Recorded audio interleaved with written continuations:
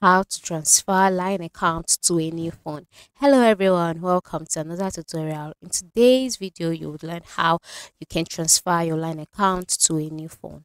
So there have been cases of um losing a phone or um changing your device and then losing your account. By watching this video you would learn how to ensure that your chats your stickers and friends list are intact so the first step to transfer your line account to a new phone is by backing up your chat history.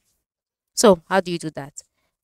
Once you go to your line account, to your line app, then log into your account. After that, move to the top right side of the screen and click on the settings icon and you'll be directed to the settings page. On this page, you'll see options like your profile, account, privacy, etc.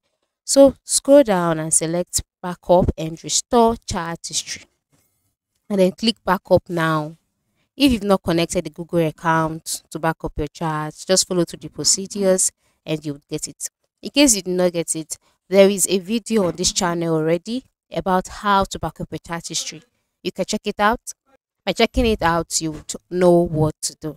Okay? So after you've backed up your chat history, go back to your um new device. Okay? Install line on your new phone and then log in with your registered phone number and email. That is the registered phone number and email used on your initial line account. Alright, this on the on the old phone. Okay. And then once you've logged in with the registered phone number and account, you'll be prompted to either restore chat history or to start all over again.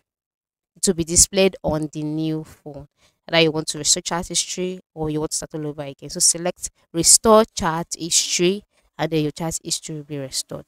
In case you're not prompted, on the new device, move to the top right side of the screen, click on the settings icon and select backup and restore chat history again. But this time, choose restore, click OK, and then your chat will be restored. All right. Since if it's on a new device, okay, you'll be required to select the Google account where the chats are, select Google account, click OK, and then the chat will be restored from the Google account into your new line account.